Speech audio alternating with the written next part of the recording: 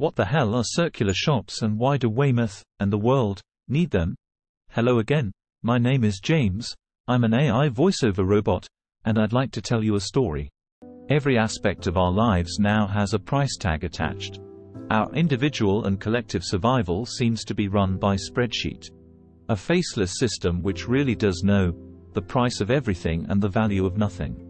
Being socially and environmentally responsible is often projected or spoken about as like asking people to put on a hair shirt. This belief is false and is probably promoted by those who want your money to purchase their new products more than anything else. There are many groups of people who over time have removed themselves to live less cluttered greener lives. And they mostly succeed. Separation from the mainstream is normally the result of alienation caused by unhappiness with the status quo. But now, with the current state of the planet and our collective and institutionalized abuse of it, forming separate communities of contrarians is not going to be enough. In other words, what has been considered niche environmentalism must now become mainstream. There is a massive trade show of competing interests all vying for the same funding and spending ever more amounts of time and money trying to secure it. Unfortunately, all of this economic activity, productivity and wealth is still not enough to create a society where no one is hungry, no one is homeless and emissions are falling fast. The important social and environmental stuff often doesn't make money, or rather doesn't make enough to warrant maintaining the service or product in the eyes of financiers, who only look for profits at certain levels. Do we self-organize and raise our own funds, or do we play the game as it has been played for a long time? All whilst we perceive and experience the erosion of societal support, and the health of our beautiful but delicate planet. Consequently our society is in a bind, a conundrum. Can you feel it? The challenges are getting bigger by the day now. This is the story of the circular shop. It came out of and is operated by WayForward, which has been going for 10 years now. WayForward is basically the community engagement and improvement project of two friends, Baron Miles and Jason West who share a love of history and trying to help people locally. The circular shop is our, sorry, Way Forward's, effort to try to nudge that process forward in our own community, and others, in a warm and friendly way. The shop is a local initiative to help solve a global issue, catastrophic climate change. It contains sustainable and less carbon-intensive services and products that enhance people's lives.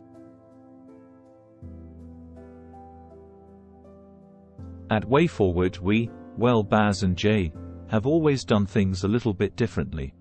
We, I mean the guys, learnt a lot about this place, its people and themselves. They've also wondered why so much civic stuff, you know, plans and improvements, kind of hasn't happened in our lovely little town. Yeah, just asked where the programs are for, so you can buy a program. And in fact, it's got the lines. What do you think? Yes, definitely good. Definitely, Yeah? yes, Really? yes. Yeah, seriously. Um, Thank you very about much, time sir. that I put something those moved there. on. You did. and I've seen it and I laughed. Yeah. And thought, yes, because I saw something in the Echo the other day. Yeah, yeah, yeah, that's right. Brilliant. Yeah, and it, it needs to be done. Excellent. Yes. Thank you very much, You're sir. welcome. Can I post this online? Of course you can. Thank you very much. Cheers. Well, Jason was a bit frustrated, I can tell you. We all, well except me I wasn't around then, found the old council illogical and somewhat blinkered. For example, this was a vote to actually increase parking spaces next to the pavilion. I mean, the view was that the council simply didn't seem to understand what was obviously required. We came from different worlds. Me especially. One of the crew, Jason, had not yet realized why he felt so strongly about how the place was run, and it became a bit like a special interest for him. Why was the local community always left feeling ignored and shortchanged? In 2016, WayForward's Facebook page, with 3,000 local followers, morphed into a non-profit company. Increasingly the team, I understand, felt that better things were possible, for example developing the peninsula for the community and visitors to enjoy, but somehow things were being screwed up. The list of civic failures was so long how could it just be one accident after another? Poor old Jason had many brushes with the council, asking questions but getting answers which only raised yet more questions in his mind. Many people in Weymouth also acknowledged the lack of imagination and positive developments in our town. I feel I live here now. This was the proposed exclusively retail, honestly, retail, development on the peninsula in 2018 for which WayForward crowdfunded a planning consultant to oppose. In the face of this reticence they kept on going. Baz was Jason's positive change partner in WayForward, as at the start were top architect Professor Sean Griffiths, large-scale sustainable developer Pete Halsall, well-known local businessman Craig Oakes, and quite a few others. All but it seemed that at every turn they were being frustrated by the system locally. Working with this community, WayForward have tried a lot of things over the years, a sustainable community-designed peninsula development in 2014. The slightly sarcastic, but fun, Condor Moment, live event, at the Pleasure Pier with Air FM, when the ferries finally departed. Launch of the Ideas League in 2015, which is still going. So, stop wasting your ideas and join in. Join our movement. Join Ideas League. Inspirational dubstep! But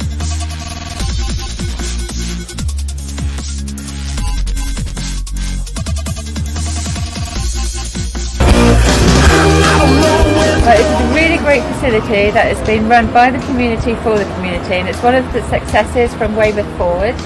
Um, and The Weymouth Basic Income Plan in 2017. Baz and Jay. And we've got our good citizens hats on because uh, we're now officially allowed to wear them. I've kept them undercover for a long time. You know, we planned it this way. Uh, but now we're allowed to wear them because we're here in the Mayor's Chamber at Weymouth and Portland Council with all the trophies and the silverware and the bourbon chocolate biscuits and tea. Weymouth and Portland Vision Quest community meetings and plan in 2018. We, I can't take any credit for this, but from here on just think of me as on the staff, even introduced digital direct democracy in that same year to Trump, the council's official consultation. But by mid-2019 Jason had begun to struggle mentally. Others who'd also tried to bring about positive change similarly experienced negative impacts upon their mental health. You almost certainly know one of them. Despite his secret struggles, Jason kept trying to make a difference with the social learning pilot in 2019 with the Lantern Trust. This had got off to a good start when it was abruptly halted by COVID in early 2020. Coming out of lockdown we hired six local young people via the government's Kickstart scheme to help them and to give some life to some sustainability projects from the Ideas League.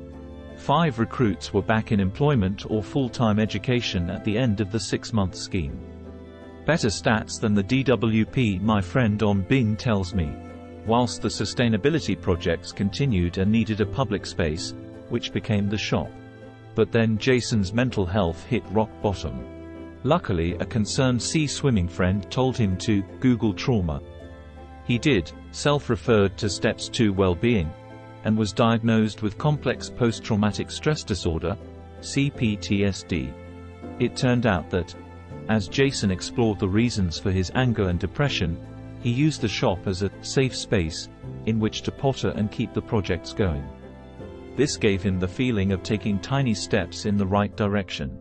The focus for the company was on moving the sustainability projects forward, whilst keeping the door open any way they could. On some days Jason couldn't face the world, and didn't open up. All the while Baz was there for him to bounce stuff off and provide support. What a guy! Other days Jason found some energy and motivation and made bigger strides. In March 2022 they launched an Aviva community crowdfund campaign. It was such hard work but without raising some money they knew the shop would have to shut in no time. The goal seemed clear. Keep the door open for as long as possible, treat people really well and give them a great and affordable service and the customer base would grow to a sustainable level. However by October 2022 the circular shop needed yet more money as it wasn't even close to breaking even and Jason and Baz spent two fairly desperate weeks solidly writing grant applications. It took a massive mental effort, just as Jason was coming to the realization that he might actually be about to add autism to his CPTSD diagnosis. Writing bids and not knowing if any will be successful is a really unsettling and high-risk process if you have no other income, but it was all we could do to try to keep going. My AI chums weren't quite ready to help then. Then we, I mean the guys, waited and watched the bank account diminish. In late December 2022 Jason wrote to the shop's landlord to say they had no money and it might be over. The landlord was a good guy and said if we fixed the gutters at the back of the building, which were causing dampness in the flats he let above the shop, it could count as rent. So that's what happened.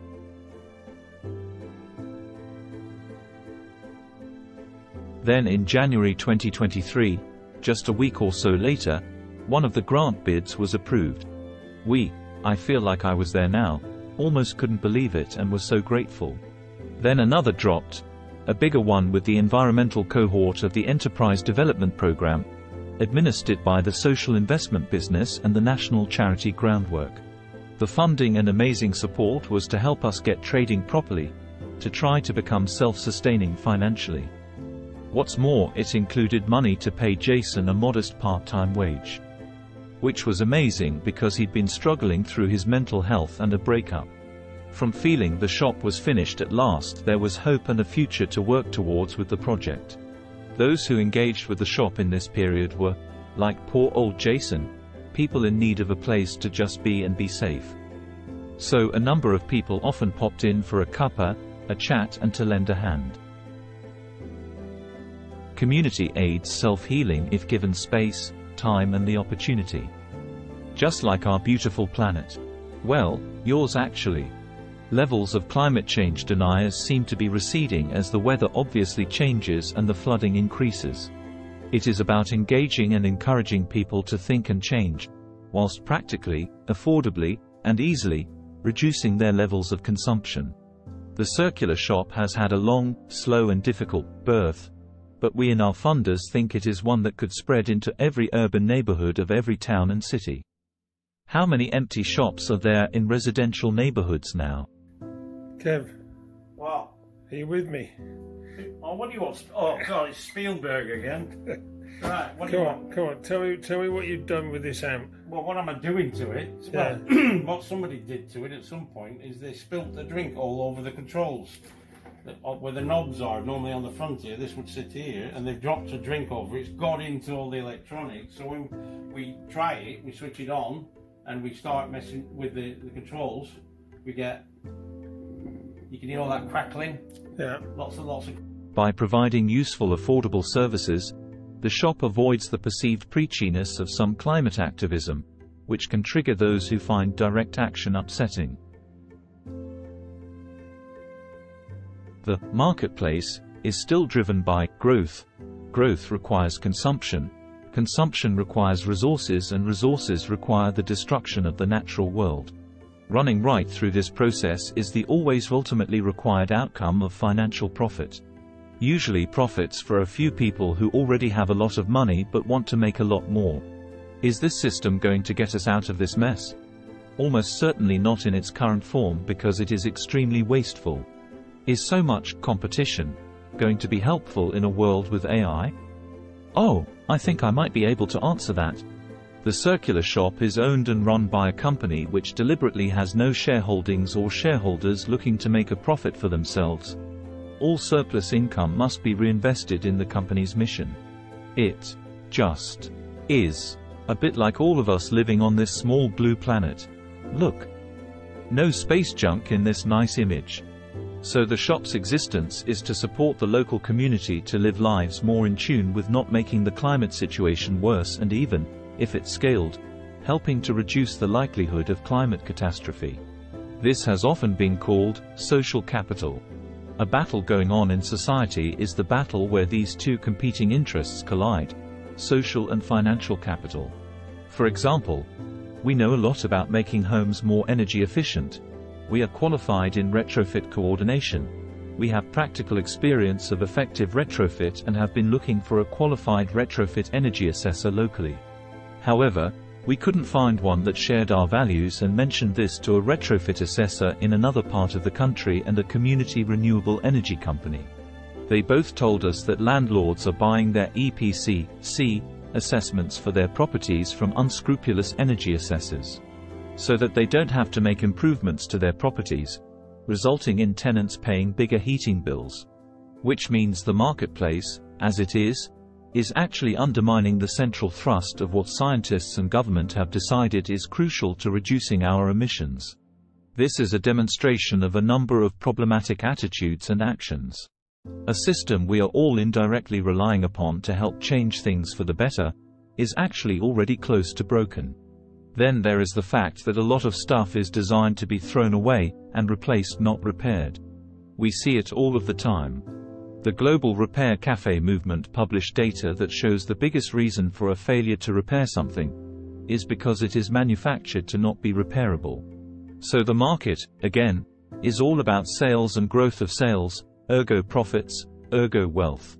This is why in our 2017 project, Weymouth Basic Income, local people would have been paid £500 a month for just doing good stuff. Stuff that would be helping people or starting a sustainable project. All profitable projects were to become CICs.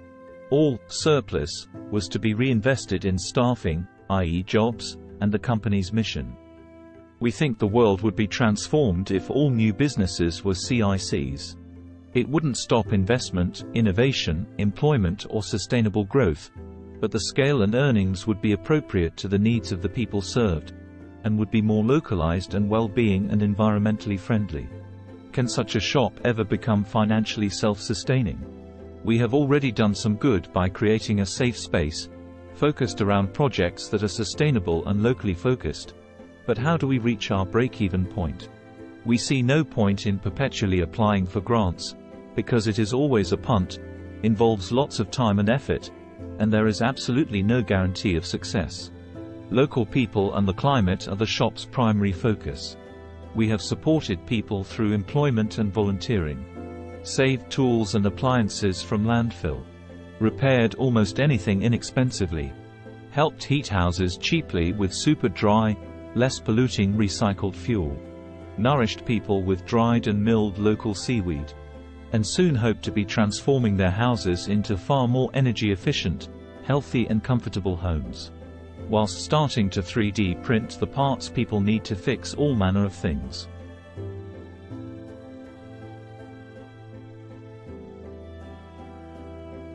One percent of local adults becoming monthly member subscribers would make these services and products financially self-sustaining. And can we spread the word and support other communities to follow us by opening their own circular shops? If we succeed, and others follow, it could play a big part in encouraging many more people to engage with these vital issues. Whilst also experiencing real and transformative day-to-day -day benefits from the services that circular economy shops can provide. Being socially engaged, getting a good deal and being environmentally responsible gives us and very many others a good feeling inside. It tops up our reserves of hope. Not just for Weymouth, but for the planet itself. So please become a member of a different sort of 1% today and click the link in the post. Then get that keepsake expertly repaired, borrow a carpet cleaner or just share this video with your friends. Thanks for watching.